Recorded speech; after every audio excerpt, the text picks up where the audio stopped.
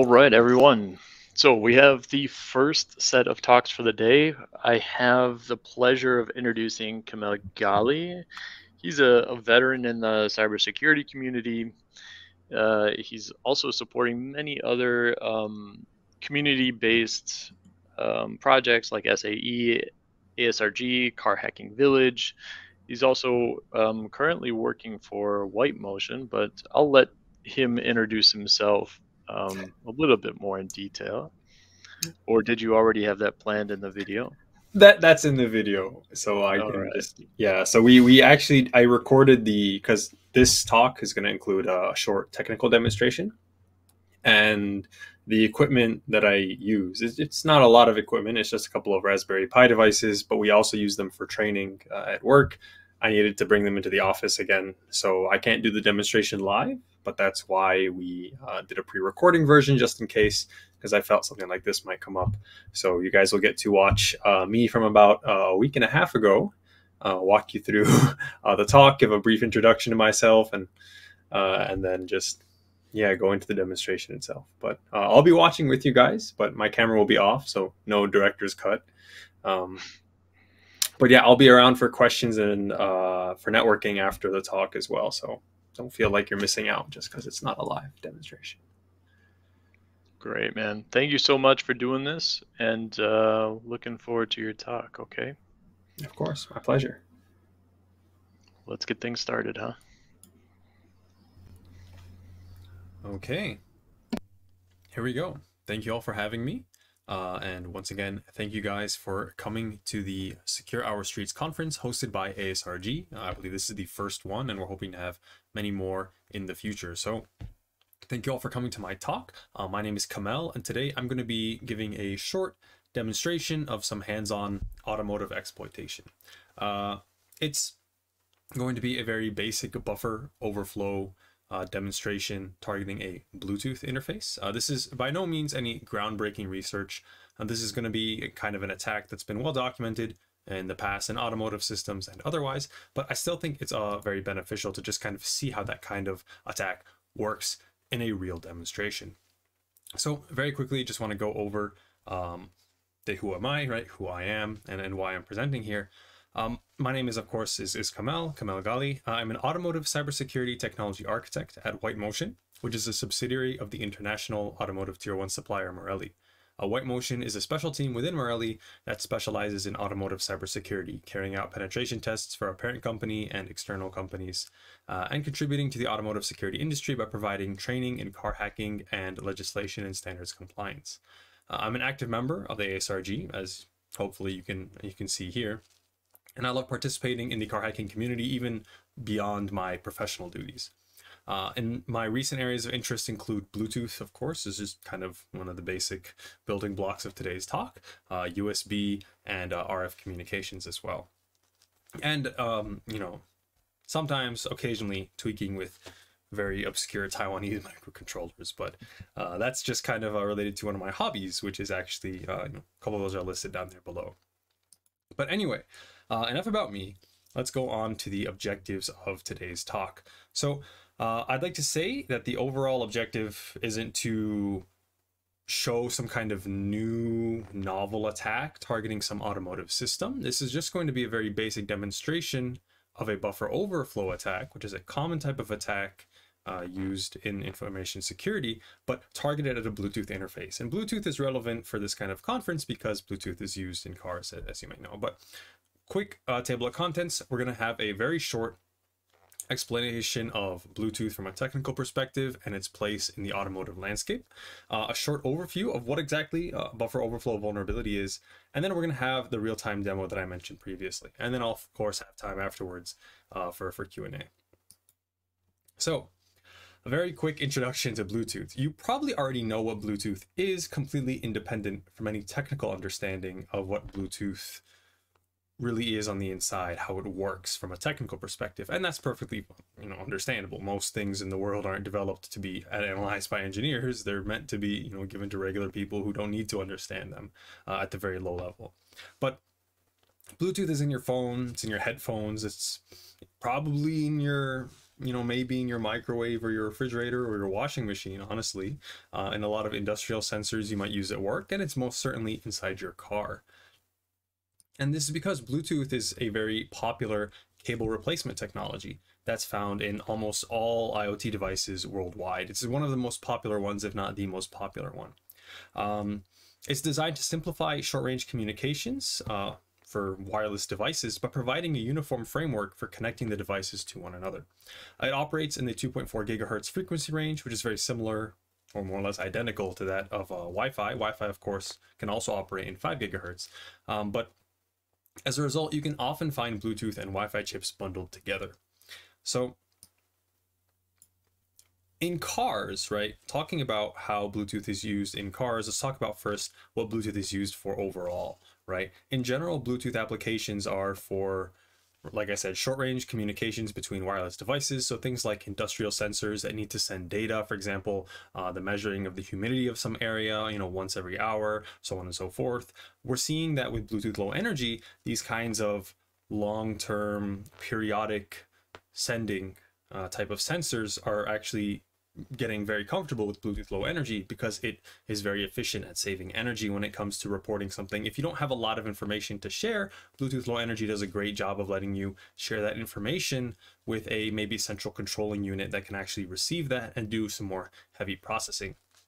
But in more consumer electronic sense, right? You have your cell phone here. You might connect to your headphones over Bluetooth, and it can stream audio for you. You can actually even uh, send files over Bluetooth, right? You can share a picture or an image or a video file with with a friend nearby just by sending it over Bluetooth. And over time, as Bluetooth's bandwidth has increased, that's become uh, even more feasible. You know, in the past, you might be able to send it over Bluetooth, but if it was a file bigger than a couple of megabytes, it might take you 10, 15 minutes, right? But when it comes to cars, uh, it's usually found in the infotainment system of the vehicle. The infotainment system being your, your head unit or the kind of consumer facing part of the smart vehicle, right? This is the part that's going to be next to your dashboard. When you sit in next to your steering wheel, you can control what radio station you're listening to. You can connect your phone to it and play music through it. This is one of the big uses of Bluetooth in automotive. Uh, but there are other uses, for example, importing your phone book right? And hands-free calling, right? Hands-free calling was probably the first implementation uh, designed specifically for this kind of automotive environment. It wasn't specifically designed for cars, but it was very useful in cars in, in the early 2000s because you could be on the road and have your phone connected to your car. And if you got a phone call, you didn't have to, you know, kind of fumble for your phone, say, oh, hello, hey, yeah, no, what's up? You could just push a button on your, on your uh, on your steering wheel, a lot of cars will have actually dedicated buttons to answer phones, right? Uh, and that kind of also transfers into, well, what if you could import your phone book? So a lot of times the Bluetooth will be used to import your contacts, your text message history from your phone into the vehicle. So that's a bit more sensitive information, right? And then we're seeing that you know recently even uh, as has been shown in a couple of different security research publications a bluetooth has been used to perform more safety critical things uh, safety critical in the sense that someone might get hurt or your car might get stolen not in the same sense that a car operation safety critical but things like using Bluetooth Low Energy to update the firmware on a key fob for a Tesla Model X. This is something that uh, some research was published about in the last couple of years, showing that they were able to abuse some, how should I say, misconfigurations in the device's Bluetooth implementation and actually copy a key to unlock the car and at the end of the day drive away with it.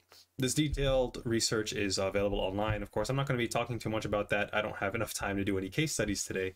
Um, but just to give you an idea of how Bluetooth and automotive has been the target of security research, uh, it'll help you kind of frame what we're going to show later on uh, into into the big picture, right? It'll help its help it find its way into the big picture.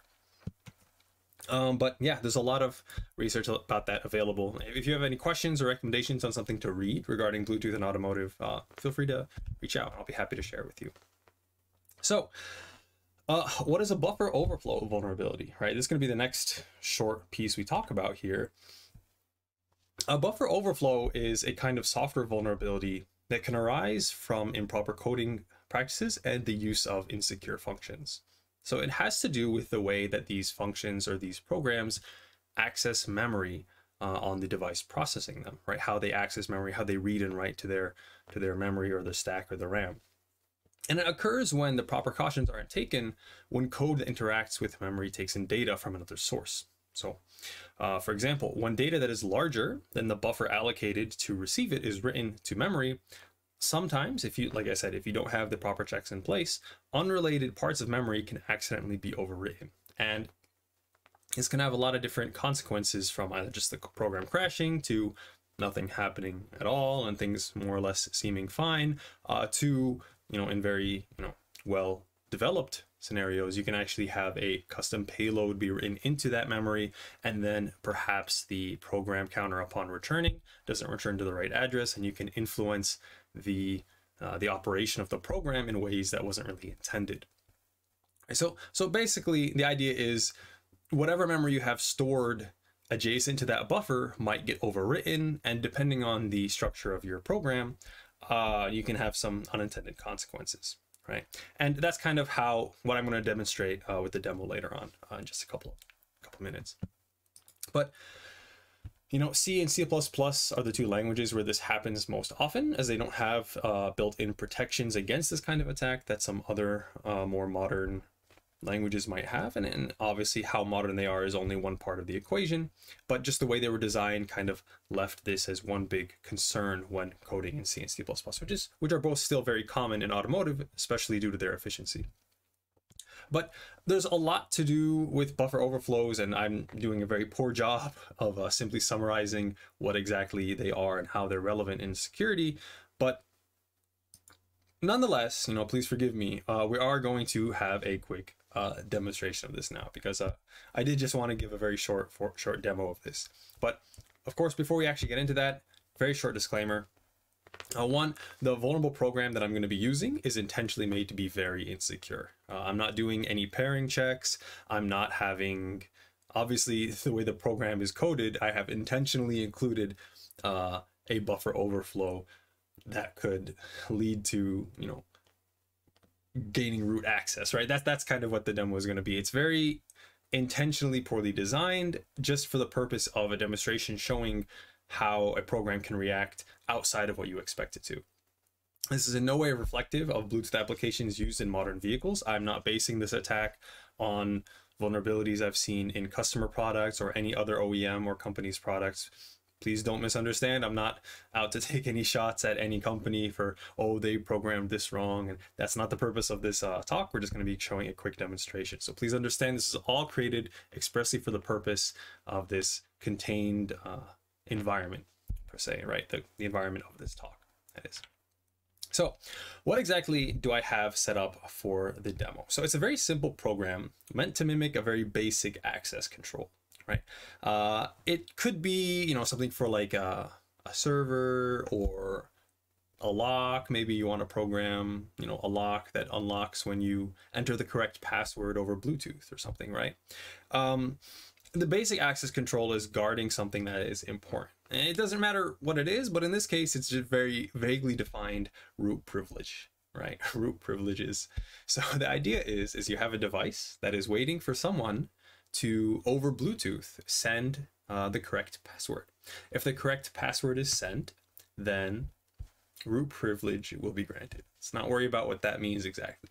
That's not the point, right? But if the wrong password is sent, then you know obviously nothing should happen. You shouldn't be able to go up to a device and put the wrong password and be granted the access that you would need the correct password for. This is pretty pretty easy to understand, right? You know, if I don't have the password, I shouldn't be able to get whatever is behind the lock, right?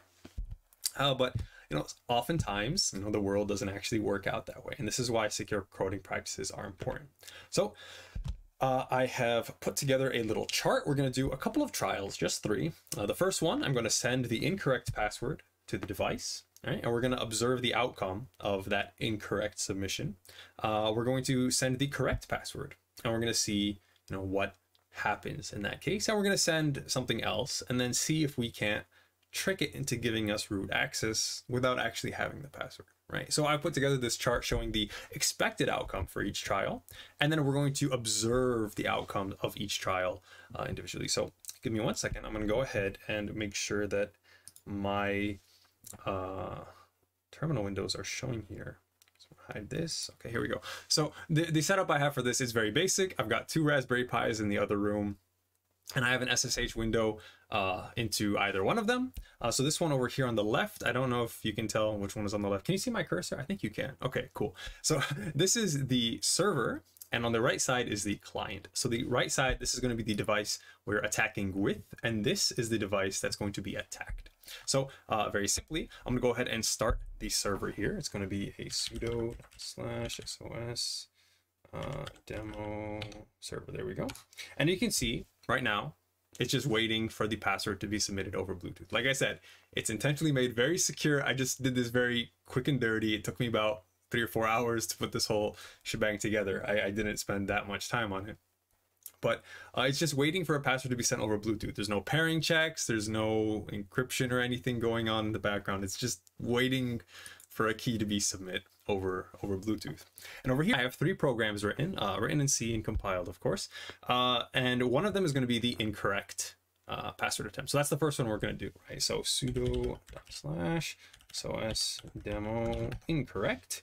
And when I press this, we're going to actually see the password that gets sent to the server device. Right, so when I do this, if all goes well, typical live demo problems. Oh, here we go. So the password sent, I tried to send hello with a, an exclamation mark, right? Uh, unfortunately, that is the wrong password and the program just kind of quits out, right? Nothing happens. And that's good, right? That's what we expect to happen. When someone gets the wrong password, you expect that things just kind of end. You don't want anything else to happen, right? So that's going to be the first trial done, and we've observed that our outcome is the same as the expected outcome. Let's go ahead and do the second trial now. So the second trial is going to be, uh, once again, we're going to start that server. Oh, oops. And over here, we're going to now send the correct password. I had written in the slide before. The correct password is uh, hello Kamel, right? My name, just as a very basic key for this uh, highly secure root privilege program, right? So SOS demo correct. And this time, let's see what gets sent over. All right, here we go. Come on, do your thing. Okay, wonderful. So we received the password.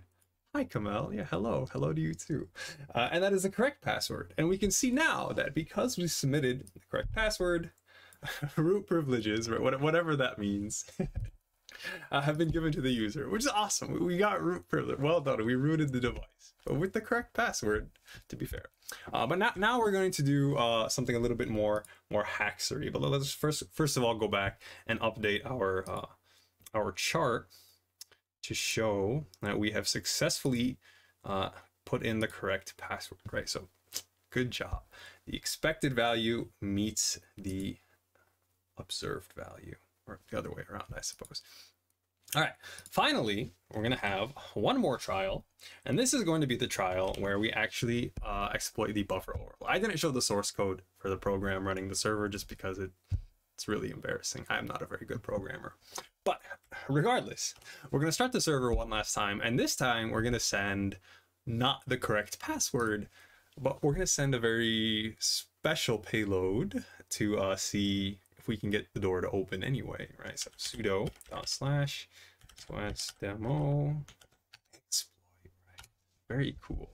So we send this, and what password are we sending? Well, I'm sending a bunch of H's, right? It's just like if you were laughing in an online chat room. I know some languages use HHH as their like laughing sound uh, in, in like text format. Um, however, it's the wrong password but I got root privileges anyway, right? Now, how does that work?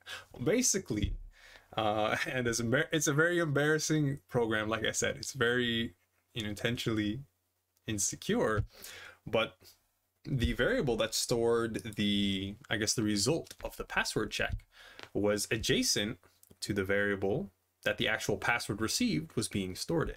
So what happens, right? The buffer initially allocated for this password upon reception wasn't big enough to hold this plethora of H's that we sent over Bluetooth. So what ends up happening is that the value of the is the password correct variable gets written due to not having any checks on the size of the input. It gets overwritten and then later on in the program, when we go to check, okay, is the flag for correct password set? Well, it is because I unintentionally, right? Unintentionally, we hacked it, right? We're, we're hackers. We exploited the system, right? We've written over that value.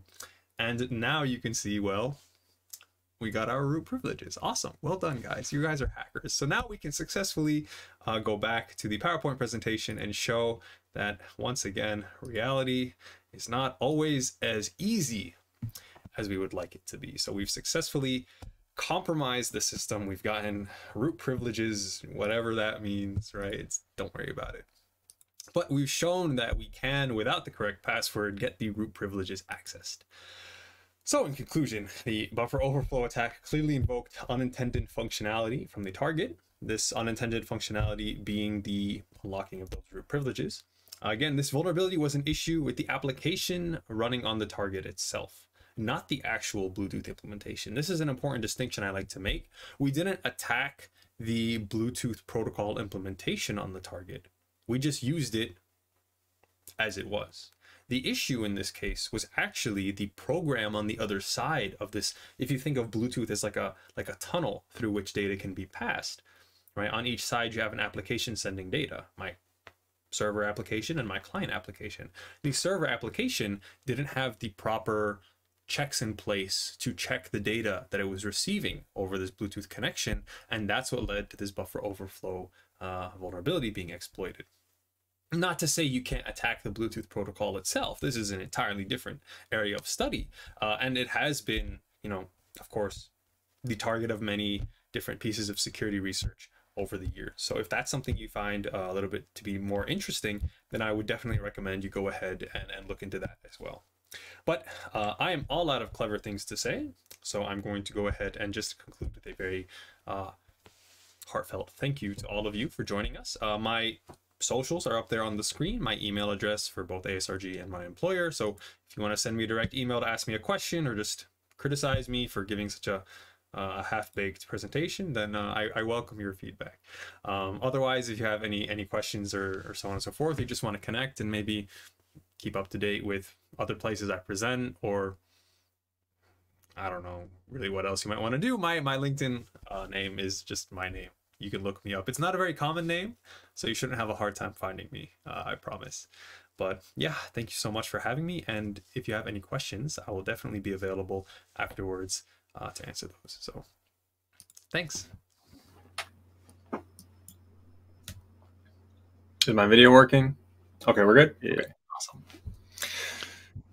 It is. First of all, Kamel, thank you very much for giving that presentation. Even though it was video, actually was amazing. So I, I always love to see these types of things, you know, examples of real kind of things that you do in a penetration testing. Um, if I don't see any specific questions in the chat, but I would have one question myself for people that really want to start doing this stuff. You know, where where do you start? How do you get this knowledge? How do you uh, play with Bluetooth? What do you need tools wise and so on? What helped you get into this uh, specific expertise? Hmm, that's a that's a great question. Bluetooth is very like ubiquitous in people's everyday lives. Like every day I leave the house, you know, I turn on my my Bluetooth on my phone. I connect my my headphones. I listen to my music on the train. Um, but interestingly, you know, learning about how to use Bluetooth is is a little bit difficult. And there are resources available, but a lot of them are quite dated. Uh, and and some of the really good ones are a little bit old, but still very valuable. Um, there's a book that I read. Uh, it's available online for free. It's called, as simply as it as it gets, an introduction to Bluetooth programming with uh, BlueZ. BlueZ is the uh, Linux, the official Linux Bluetooth stack. Right. So this is a book about programming Linux applications, or sorry, Bluetooth applications with Linux. This is a really great video. Um, I've actually uh, I've given talks in the past where I kind of just very briefly go over Bluetooth in automotive and uh, share some some more resources that I can't really uh, think of off the top of my head at this moment, unfortunately.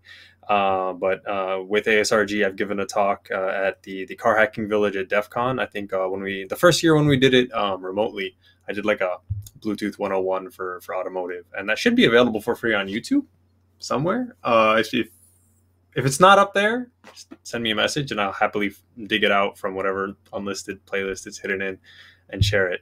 Uh, but I, there are a couple more resources for getting um, familiar with Bluetooth. And but if you're uh, you know a team manager and you have a a team of people that would like to learn how to do Bluetooth you know programming or even you know security testing, uh, and you have the budget for it and you want a more hands-on guided experience, I am a I suppose Bluetooth trainer uh, in my own right uh, as part of my official duties at my company. So if you hit us up, we'll happily be able to uh, give you a quick course. And uh, this is we do this in person and and online as well, but we, we can do completely remotely. Is what we're trying to do. I've been kind of working on that recently. That's what I spent all day doing. Matter of fact, um, but yeah, no sales pitch is done. But yeah, yeah, Kamel, thank you so much. And you're going to be available in the the tables to discuss a little bit more uh, yes. with anyone that's interested. Uh, I do see one question, but we got to move on to the next talk. So um, thank you very much once again. And yeah, no. Uh, of course. It's, it's, my pleasure. Thank you so much for having me. And, and yeah, like you said, I'll be in the uh, the networking table area for about uh, another 20, 30 minutes at most. So if anyone who has any questions or, or wants to just get in touch or, or tell me I did a terrible job, like I'm, I'm all yours. Right. Love how frank you are, man. Uh, as always, thank you very much. We'll see you guys at the tables and get ready for the next topic. Thanks. Yeah.